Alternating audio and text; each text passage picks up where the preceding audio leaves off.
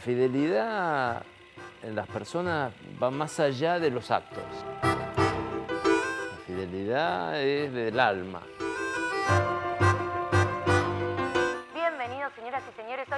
Acompaña el señor Marcelo Mazzarello. ¿Cómo estás, Marcelo? Bien, muy bien. muy ¿Cómodo bien. o con calor? Cómodo, con calor, pero cómodo. Bueno, sí. pero te viniste en moto. Me vine en moto, así que me vine ventilado. Fresco. Fresquito, sí. Ahora empezó a andar el aire, siento que me alcanza como un vientito.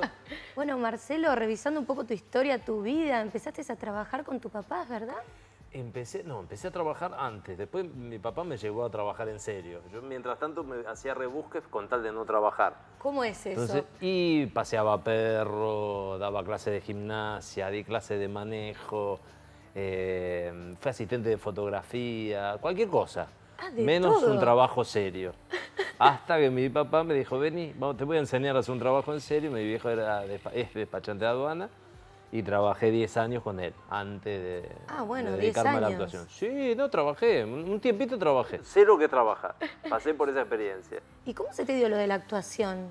Y nuevamente tratando de evitar el trabajo, este, sal- eh, cuando terminaba el secundario hice una obra de teatro que- del director, qué sé yo, que llevó una obra. Este, y fue la primera vez que hice algo en teatro, la gente se rió con lo que yo hacía y me quedó el registro de que me había gustado hacer algo en teatro y que la gente se riera. Pero no me imagino, o sea, ser actor, viste, tenemos algunos compañeros que estudiaban teatro y decían, no, es un plomo. Claro, es- Fuimos a ver obra de teatro, era un plomo. Un embole. Un embole, dije, yo no quiero hacer eso. Este, y después, poco tiempo después, digamos, de que intenté estudiar veterinaria y tampoco servía para eso, eh, aparece Norman Brisky, que da unos seminarios de comicidad, que no era teatro, sino que era algo distinto. Y fui a esos seminarios de comicidad y ahí empecé como a encontrar algo que tenía que ver con lo que yo había sentido que me gustaba, que era hacer reír. Y, bueno, empecé en el tiempo a hacer esos seminarios mientras trabajaba, mientras hacía otras cosas. y- Diez y, un años poquito ahí. estudiando estuviste, ¿no? Eh, diez años entre que iba y venía, sí. Cortá, creo que sos medio vago, cortá. Muy. ¿Ah, sí? Extremadamente. ¿Y Sí, me día? tuvo que echar. Norman me dijo, anda a laburar. Ah, Se sí. terminó, no hagas más cursos. Me echó de los cursos. Pero también porque eras bueno, porque... Porque me dijo que tenía que hacer experiencia de Claro, laburo. Basta labura en algún momento. prueba. En algún momento no probé más. Andá y hacelo. Y después de esos 10 años, ¿qué sentís que aprendiste? Nada. Bueno, está bueno Hay que reconocerlo. reconocerlo.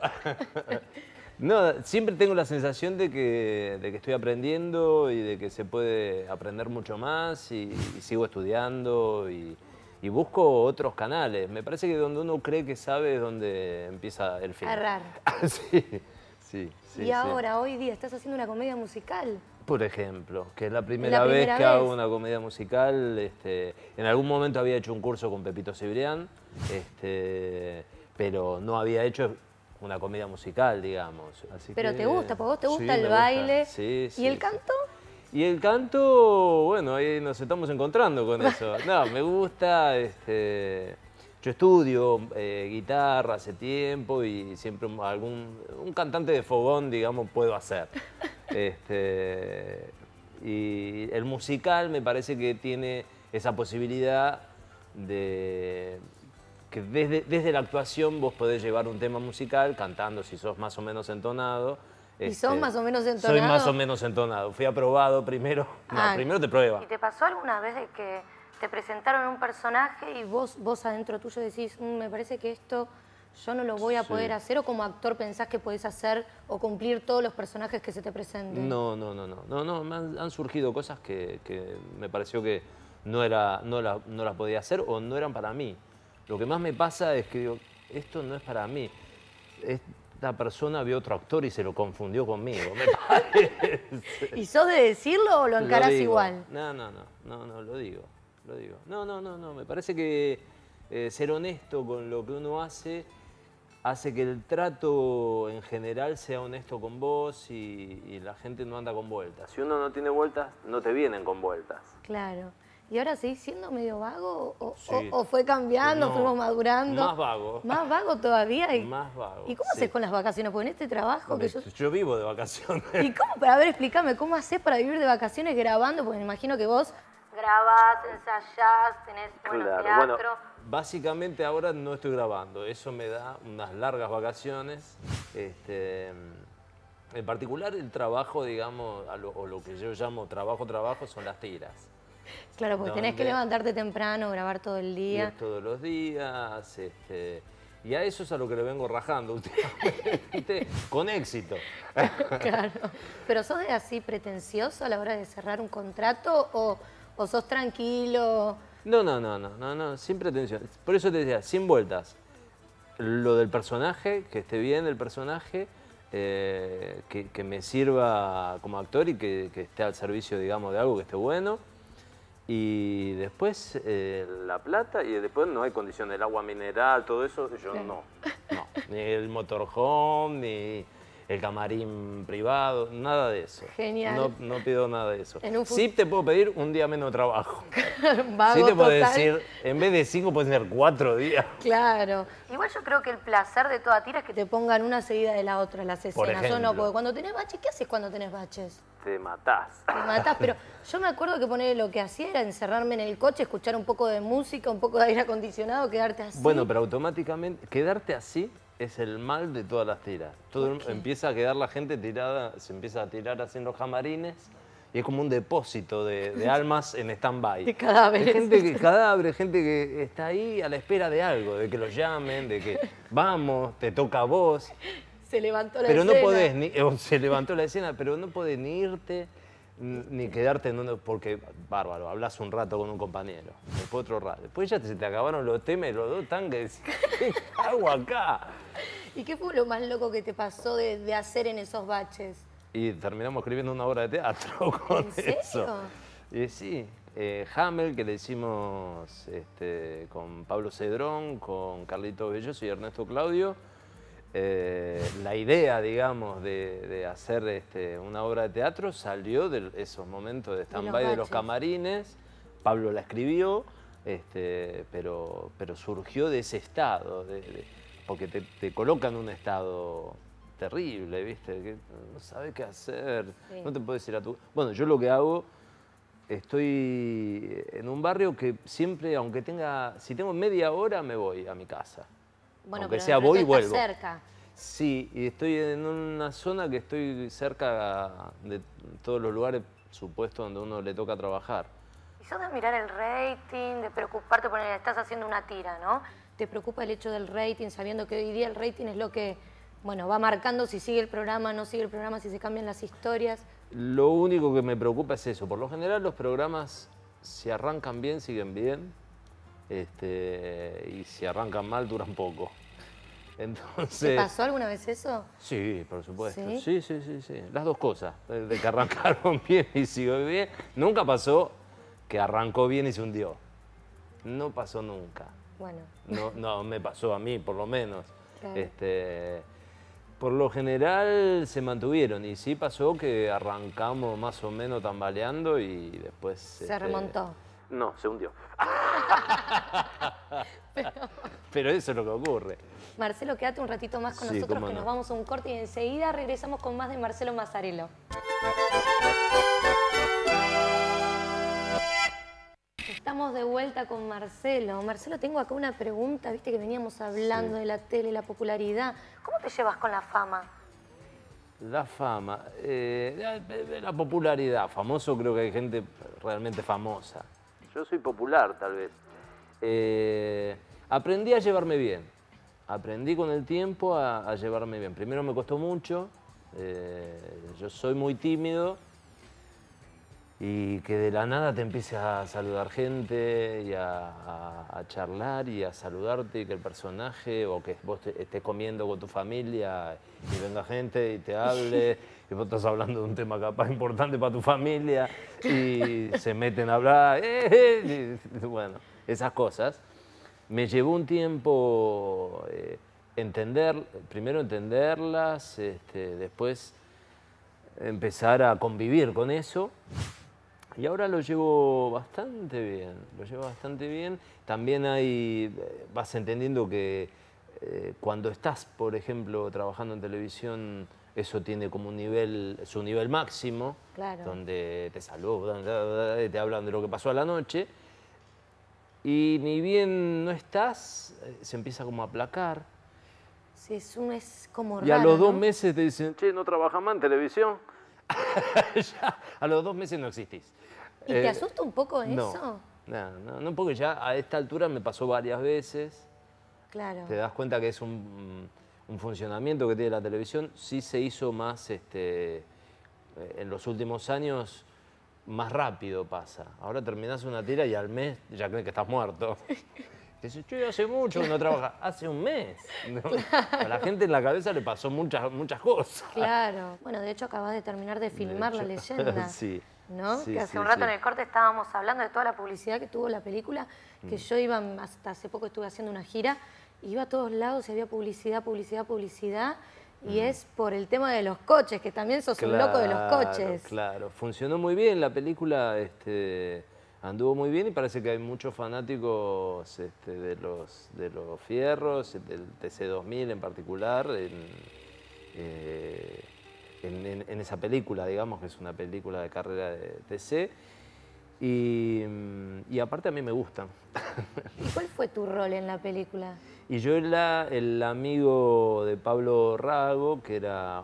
Había dos corredores, digamos, uno joven, que era Benjamín Rojas, y el más grande, que ya estaba retirado, que era Pablito. Eh, y yo, digamos que lo fogoneo un poco para que vuelva a correr y que vuelva a competir con, con el chico joven. ¿Y corriste? No, a mí no me tocó. Ponele, se corta la escena, ¿no? No, no sos de agarrar el coche e ir probarlo. No me dejaron. ¿No te dejaron? no, no, no, no, no, no dejaron a nadie. Ah, bueno, porque son autos, sí, sí, es peligroso. De hecho, se filmó eh, en un momento, en plena carrera, estaban corriendo, se metían los actores en los boxes, los filmaban, filmaban escenas, se salvaron de un accidente porque no me acuerdo qué pasó y uh. sí, sí, peligroso en ese sentido esa vez, pero era la única manera de que esa escena tuviera la vibración que tenía que tener, ¿no? De los tipos metidos en el medio de la carrera. ¿Y pisaban el, acelerador o era...? El, todo el resto se hizo con, truco. Estaban los dos chicos ah. adentro del auto y lo filmaban. Ponen cara velocidad, pero nada más. Después este, la animación hizo todo el resto. Otra pasión tuya es el tango. El tango, el tango ¿Bailás bien el tango? Dicen que sí, no lo tiene que decir uno, pero las chicas dicen que sí, que, que bailo lindo.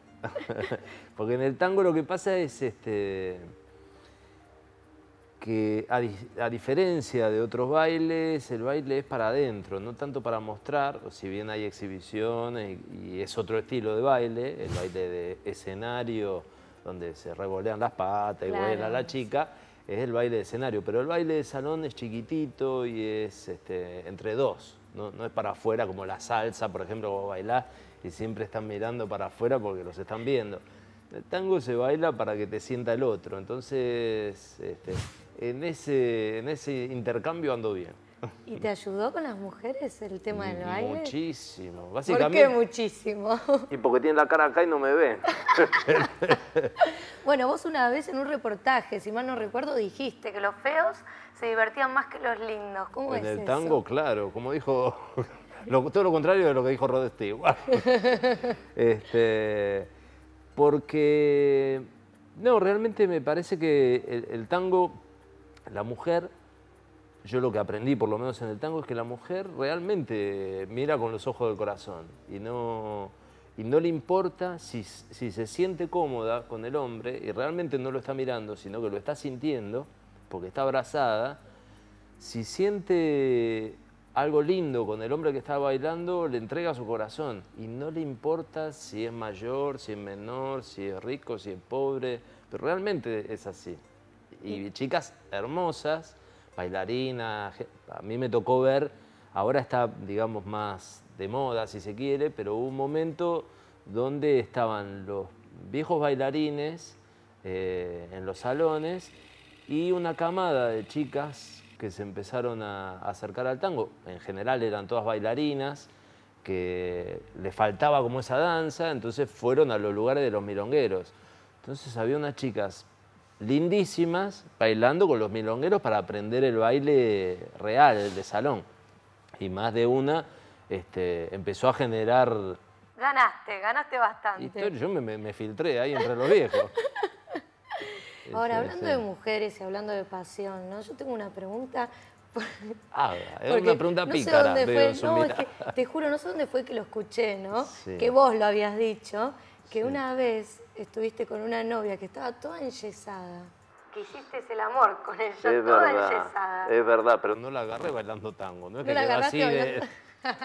Es anterior al tango. Y ahora, Y sí, bueno, eso es pasión juvenil, eh, un poco de pasión, un poco de desesperación también. la pubertad. La pubertad, claro, y ella estaba, había tenido una operación de cadera, entonces tenía un yeso de acá hasta abajo, una pierna, pero uno encontró... cadera?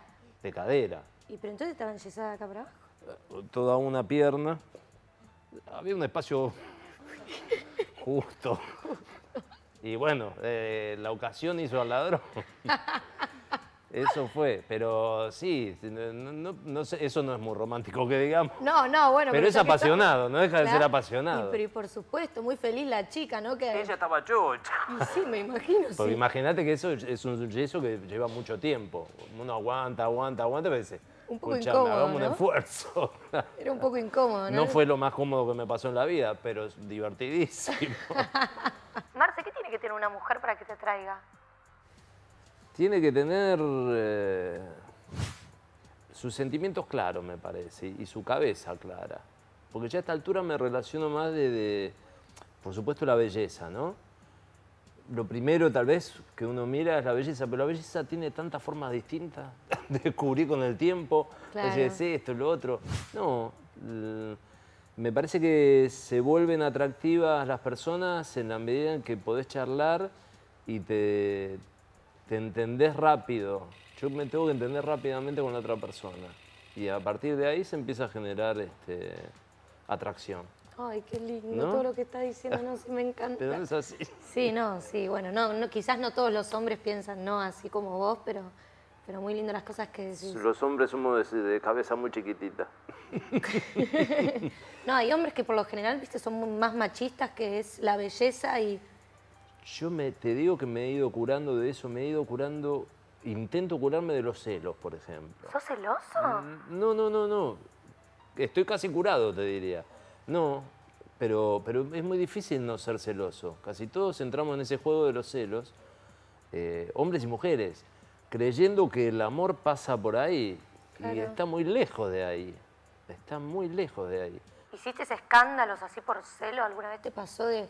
No escándalo, pero sí me he peleado. Me he peleado con mi piña? pareja. No, no, me- bueno, sí, a piña también, pero, pero me he peleado con mi pareja, no, no, con la pareja no te peleas a piña, discutís. Con- pero no, y te- me he peleado con otro por otras cosas. Y si la enganchás, sí, pero ahí ya es otra cosa. ¿Y te agarraste así una vez enganchaste a alguien infragante no, no? no, infraganti, no, no, no. Nunca. No, ¿Y a vos te agarraron no. infraganti? No, no, no, no, no, no, no, no. No, por suerte. No, bueno, pero sos fiel, ¿no? Sí. Sos un hombre... Sí, sí, sí, sí, sí, sí, sí, sí. Yo estuve, estoy separado hace poco tiempo y estuve en convivencia cuatro años.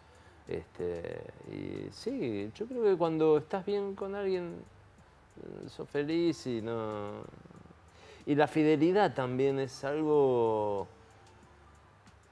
eh, si uno lo pasa exclusivamente, ¿cómo decirlo? La fidelidad en las personas va más allá de los actos, para mí. La fidelidad es del alma. Más de allá de los persona. actos, o sea, según lo que yo interpreto. Pueden ¿podés- ocurrir cosas. Ay, pueden bueno. ocurrir Yo cosas. eso no lo aceptaría. Yo sí estoy... No lo acepta nadie, por eso te digo, pero son los celos. Por eso... claro, no lo acepta nadie. Claro, y bueno, vos tenés una Pero- manera de pensar muy... Sí, no, también después hay que llevarla a la práctica, pero esa, yo sé que esa es la verdad. Después hay que ver si uno puede llevarlo a la práctica, porque no es para un solo lado, es para los dos lados. Claro. Bueno, Lo que yo digo no es que solamente yo, es para mí y el otro no. Claro, no, bueno, tienen que estar los dos de acuerdo. A mí me pasó, si por ejemplo, de estando mucho tiempo con alguien, yo, por ejemplo, no podía ir a bailar tango con mi pareja. Porque si íbamos juntos nos peleábamos. ¿Por qué? Porque a ella la sacan a bailar y a mí me sacan a bailar. Porque toda la gente de ese lugar te conoce solo. Claro. Entonces, yo la veía bailando a ella con otro y me ponía mal. Ella me veía bailando a mí con otra mujer y se ponía mal. Entonces, decidimos no ir más a bailar juntos. Qué complicado, claro, vos sos celoso, ella bailando, sí, no te Todos, imagino. es que todos funcionamos así, pero si no ves no pasa nada. O sea, si vos no estás cuando el otro baila y la pasa bien, no pasa nada. Y cada uno baila y la pasa bien. ¿Entendés? La fidelidad del alma, porque si no, no podés hacer nada. Claro, estás atrapadísimo. Y sí, y, y tampoco sos feliz, y tampoco sos sincero con el otro. No estás siendo sincero ni el otro está siendo sincero con vos. Bueno, tengo enfrente un hombre completamente transparente hasta ahora por lo que voy viendo. No sé si tanto, pero, pero trato de serlo. Marcelo, ¿un lugar en el mundo? Eh, hay varios, pero mi casa está buena. ¿Sí? De todo el mundo. Agarrás el mapa y elegís tu casa. Eh, de todo el mundo igual elijo la Argentina. Algún lugar en la Argentina. Si no en mi casa puede ser el Bolsón, puede ser... eh, Hay varios lugares geográficamente atractivos, pero sí en la Argentina. Marcelo, la última y para cerrar esta nota, ¿cómo te gustaría que la gente te recuerde? Con buenas películas.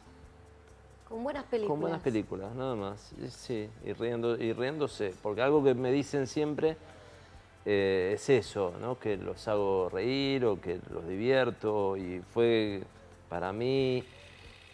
Los cómicos es lo mismo que me transmitieron a mí algunos cómicos, que me gustaba verlos y que yo sentía que si me hacían reír, hablaba de algo del alma de ellos eso.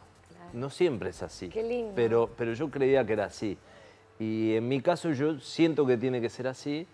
Y, y me ha pasado de gente que me ha dicho, eh, mi mamá estaba, estaba en el hospital y, y- y le quedaba poco tiempo de vida y las últimas cosas que vio fue la novela que estaba haciendo y se reía mucho con vos.